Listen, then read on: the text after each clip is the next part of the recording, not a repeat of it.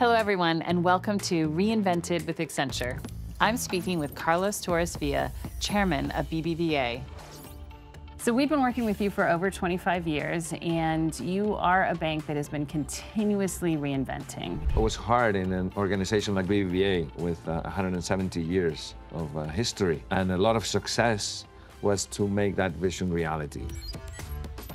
Because when people say, what does it really mean to reinvent? Like what you're talking about is exactly what it means. There was this pivotal moment in 2014 when we created uh, a digital unit and I was entrusted with the responsibility of leading that. So it's a bit like the digital guy who was trying to change from outside the core business became the leader of the entire business and therefore could change it from within.